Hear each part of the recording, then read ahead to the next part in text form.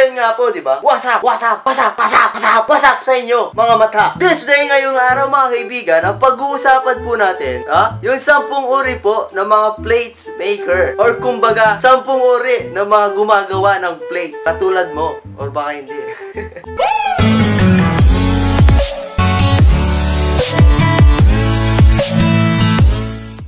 Ang una po sa ating listahan, mga kaibigan, ito po ay tinatawag natin na lenser. Kung hindi nyo po alam yung lenser, hindi ko din po alam. ito po ay tinatawag nating lens. Kumbaga lens, no? Lens ng itong camera na to. So, pag i-adjust ko siya, mga kaibigan, no? Pwede po siya lumabo, pwede rin po siya luminaw. Pero syempre, kailangan natin ilinaw. so, ayun nga, di ba? Ito po yung mga estudyante, mga kaibigan, na gumagawa ng plates. At sila ay nakafocus. Ito po yung mga gumagawa ng plates na kung saan, bawal nyo pong isturbuhin. Kumbaga, pag inisturbo nyo, para makakahanap kayo ng kaaway. Na kahit kunting isturbo lang sa kanya, no? Ay parang uh, isasapak niya sa'yo yung mga pinaggagawa niya. Kasi nga, nakafocus. Kuya, kuya, kunin mo yung laro ko. Huwag ka magulo. Kapokus ako. Pangalawa mga kaibigan, ito po yung tinatawag natin na songer. At ito po yung mga gumagawa ng plates mga kaibigan na kung saan hindi po sila makakagawa ng plates hanggat wala po naririnig na music. Kung baga yung music mga kaibigan, yun yung nag- nagbubuhay sa kanila para ganahan gumawa ng plate. Na kung walang music mga kaibigan, ay parang hindi po sila gaganahan gumawa ng plates. At kailangan meron silang marinig, no? Don't you see that I need you so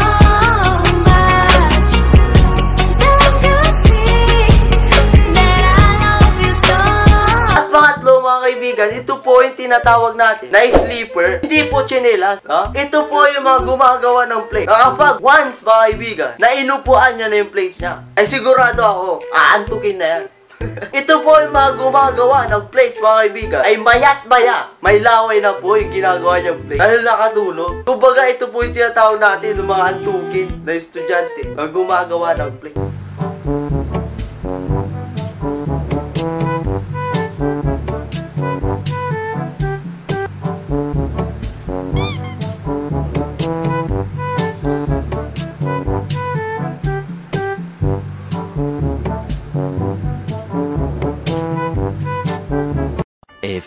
Moments later. Putik, sabi ko 5 minutes lang. Ba't naging 5 days? Wala tuloy ako nagawa.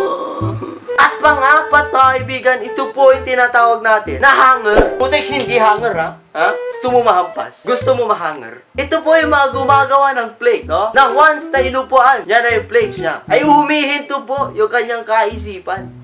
Kumbaga mga kaibigan, no? naghahang po yung kanyang utak, no? hindi po makaisip kung ano yung gagawin niya sa plate niya.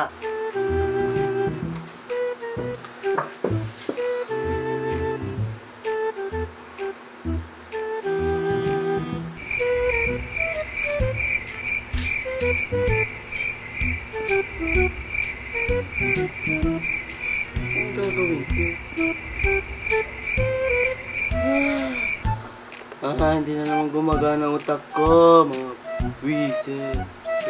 At panglima mga kaibigan, ito po yung tinatawag natin na questioner. Ito po yung mga gumagawa ng plates mga kaibigan na hindi po nakakagawa hanggat hindi nagtatanong. Ito po yung mga gumagawa ng plates mga kaibigan na hindi po mapigilan magtanong na lahat ng kaklase niya ay isturbuhin niya. No? Magtatanong yan kung ano yung gagawin dito, gagawin dyan, ano yung gagawin ganon. At hindi po yan titigil sa katatanong hanggat hindi niya po nalalaman yung gagawin niya sa plates niya. Tama? Natot na ako! Ano yung gagawin dito?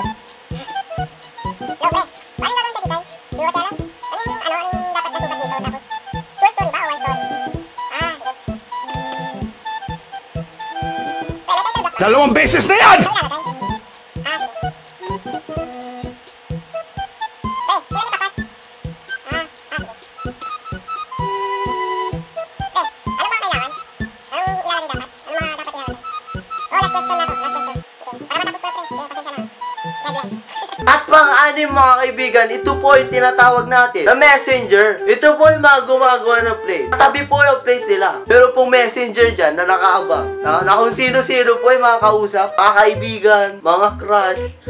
mga crush?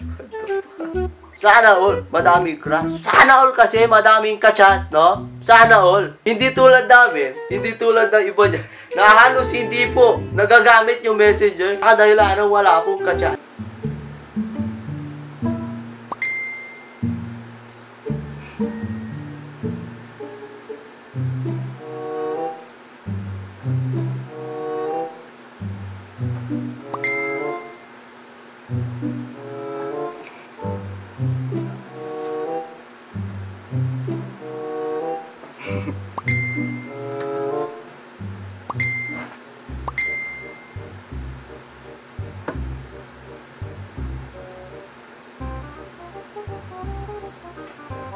At pang pito mga kaibigan, ito po yung tinatawag natin na reclaimer or tinatawag nating reclaimer. Ano ba mas magandang tawag? Reclaimer, reclaimer. Ito po yung mga gumagawa ng plates mga kaibigan na wala na po ginawa. Kundi magreklamo po sa gagawing plate. Wala na ngang maisip. Hindi na nga alam yung gagawin. Ha? Magre-reklamo pa kahit kukunti yung binibigay. Ay talaga magre-reklamo po kung bakit may plates.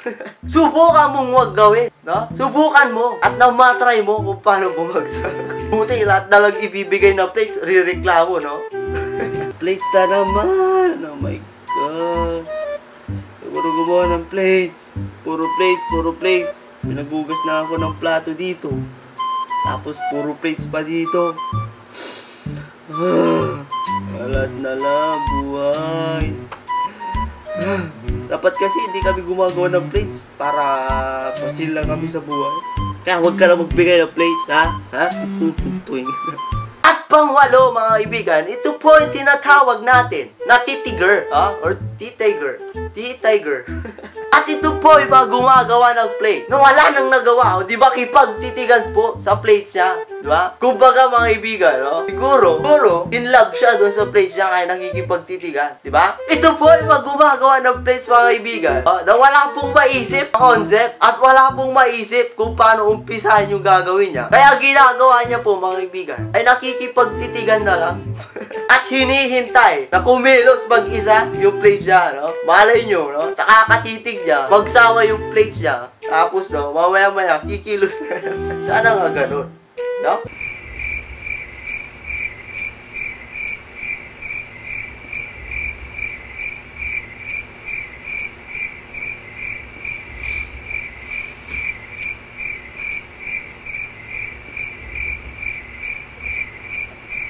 A few moments later. Tawag ng gumawa?